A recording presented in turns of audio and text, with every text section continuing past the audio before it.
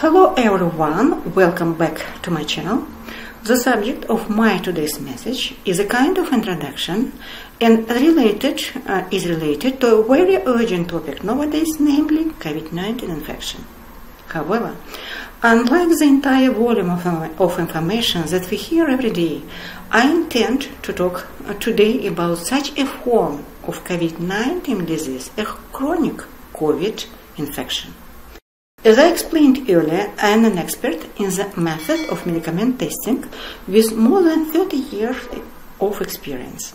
These techniques allow the specifically trained physician to select individually drugs and their doses, both a single effective one and a daily dose, to monitor the therapy effect and much more. In relation to COVID-19, that method allows you to determine how the patient will react to a particular antiviral medication and to select the individual dose of the selected drug. To diagnose COVID-19, I have chosen the following drugs. The nosode of RNA-dependent RNA polymerase, uh, production of the company, uh, German company uh, Pharma, ribavirin or Copegus, Production of the company La Roche and dexamethasone in tablet form. Why, you may ask me? COVID-19 is an RNA-containing virus, and its most important component, which essentially ensures its existence, is RNA polymerase. Without this enzyme, COVID-19 simply cannot exist. Moreover, RNA polymerase is not subject mutation or any changes at all. If this happens, it won't be COVID-19 uh, anymore. It will be a completely different virus. German company Stam Pharma produce medicine containing viral particles and their components, which makes it possible for specialists who know the technique of medicament testing to diagnose various viral infections, including coronavirus infection, to which COVID-19 belongs. Ribavirin is a well-known antiviral drug that was proven to be active against chronic hepatitis C virus. It was also used very successfully in the therapy of COVID SARS in 2002 and MERS COVID in 2013 in Saudi Arabia. So uh, you can see that it has been used in the therapy of coronavirus infection before. Starting my research uh, with a group of patients uh, with COVID-19 in April of 2020, I began it by looking for an antiviral drug that I could use to diagnose COVID-19. For these purposes, I started to test all antiviral medications which were available in pharmacies of Uzbekistan, the country where I live but none of numerous drugs gave me a positive response in, during the uh, medicament testing technique. And only ribavirin gave me a positive response. Hence, I obtained the opportunity to use it later in the diagnosis of COVID-19 infection. And the third drug, dexamethasone, is a synthetic corticosteroid that is now widely known and used in the treatment of COVID-19, and I think nothing should be added here. What have we got so far? The infection global death toll is over 5 millions. Vaccination is feverishly conducted in many countries, and still there is no drug capable to destroy COVID-19 and non-stopping surges of COVID-19 emerging in different regions of the earth. And this is not all. As my findings show, this virus is able to initiate chronic forms of the disease. Nowadays, this condition is called post-COVID. First, this is due to the lack of test system detecting the infection in the patient with this process uh, in the body, and probably it is also explained by the reluctance to inform the public that COVID-19 is in fact more dangerous than we suggested. Uh, you all know or have heard about the fact that a number of patients who recovered from COVID-19 infection continue to present various complaints, including weakness, fever, joint pains, and many others. In addition, there are already a number of publications describing the presence of viral particles in the bodies of patients who died from COVID 19. In my research, I found not dead but alive live virus in different tissue of the body in post-COVID patients with a variety of complaints. COVID-19 is known to be a respiratory virus and by definition cannot form chronic form of disease but as I see it, the virus has the following pathway in the body of a human it affects. Its pathway starts in the respiratory cells of the upper respiratory tract. I'm not going to describe the complaints that come with it. You all know them. Then it goes in two directions. The first aim is the brain, in particular the hypothalamic area, which is the center of the regulation of the immune response. This fact is very important. And the second target is the lungs, where it launches inflammation with which all doctors are familiar now. Заняв зону I гипоталамуса, would like to talk about now about the first direction in more detail. Having occupied the hypothalamic area, it penetrates deeply into the body. It enters the uh, lymphatic mm, system, in particular thoracic lymphatic duct, gaining access to almost all internal organs. This is the very same multifocal inflammatory syndrome which has already been described in patients with acute COVID. And it is related to the migration of the virus into the lymphatic system of the human body. Through the lymphatic tract, it can then get into the liver, kidneys, spleen, human reproductive organs, thyroid, and elsewhere. There is, in fact, no organ where it would not invite. And this is a half of the problem. Acute COVID-19, as it is interpreted nowadays, is a process that takes from 4 to 12 weeks.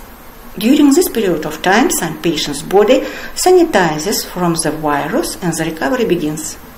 But in people who have immune system problems, COVID-19 does not leave the body and remains there forever, giving an impetus to development of different conditions.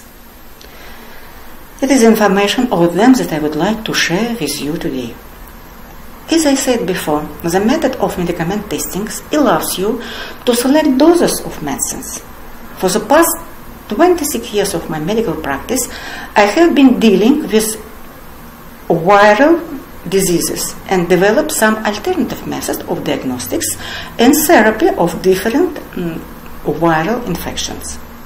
The research I have conducted over this period of time has allowed me to develop a technique almost identical to the widely used method for the quantitative determination of the virus in different tissue of the body.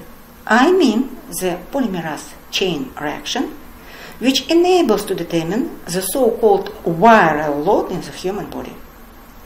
What did my research show? The viral load in different tissue of the body in patients with chronic COVID infection is extremely low.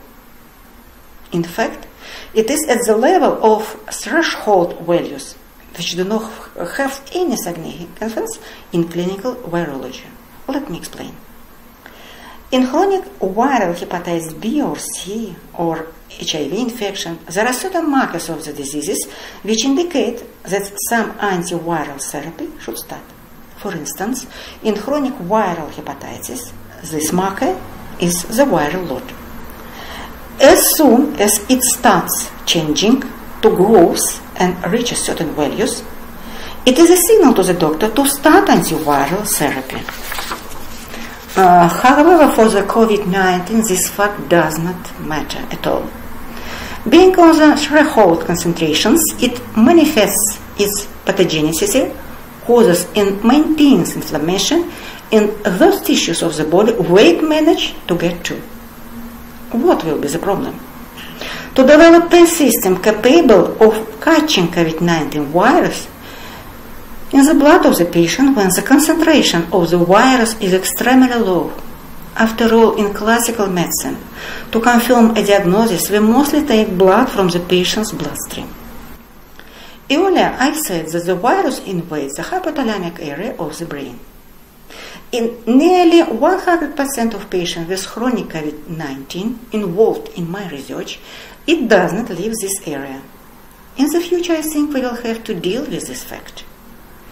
And it is its occupation of this zone of the brain that contributes to further invasion of the virus into the brains of patients, forming the widest uh, of them. For example, encephalitis, Guillain-Barré syndrome, encephalopathies, and many other conditions that are now uh, well known to clinicians.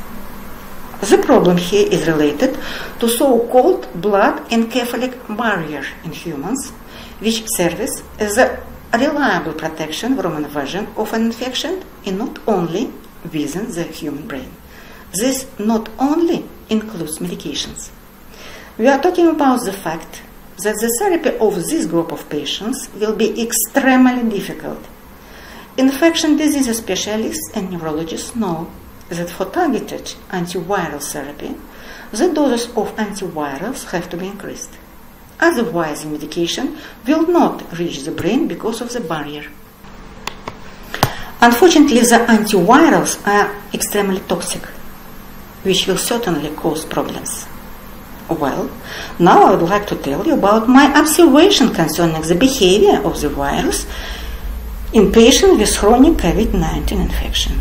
The work has just begun and these are the first results. I began the research with this group of patients in November uh, 2020 and now it is more than one year. According to my finding, um, COVID-19 is a trigger for many diseases. These diseases include oncological diseases, autoimmune diseases, and other chronic conditions. It is well known that many viruses are oncoviruses, both DNA and RNA containing viruses. Let me remind you that they include hepatitis B virus, hepatitis C virus, human papilloma viruses, Epstein-Barr viruses, and many others. Each of these viruses is known to cause certain forms of cancer, strictly specific to the given virus. COVID-19 is able to induce malignant cell formation in any tissues of the body, which certainly distinguish it from other viruses. That is not all. It can drag a malignant cells anywhere, which means that migrating and spreading through the body, mainly through the lymphatic system and blood, it in fact promotes cancer metastasis. What, uh, that what concern oncology. As for autoimmune pathology, the virus induces autoimmune processes with virus localization in patients in the absence of genetic determination. What does that mean? It means that practically any carrier of chronic COVID infection can start any autoimmune process at any time. Autoimmune thyroiditis, rheumatoid arthritis, Alzheimer's disease, ankylosing spondyloarthritis, and many others. These diseases usually require specific therapies. In my next videos, I will talk about it in more detail. A special group of patients is represented by patients with chronic viral liver disease. Perhaps this is the most alarming group of patients. Doctors have already encountered the fact that patients with intesti- intestinal pneumonia, COVID-19, subsequently develop uh, pulmonary fibrosis of one degree or another. In the group of patients with chronic viral hepatitis B or C who have the COVID-19 virus in the liver at the same time, this fact plays an extremely negative role. So, if for those who fight with the presence of one virus, for example, hepatitis B or C, fibrosis with the subsequent formation of cirrhosis take usually from 20 to 25 years, then in the presence of the COVID-19 virus in the hepatica, the formation of living cirrhosis is calculated in one, possibly three years. A virus, a COVID-19 virus, will lead to cirrhosis in a matter of years. During the observation period, I consulted 12 uh, patients, in, uh, and in 50 of them I observed this phenomenon. Observation continue, and the future will show the veracity of this information. All patients with chronic COVID infection are a reservoir of infection which at any time can become aggravated and then this patient will begin to release the virus into the, uh, the environment.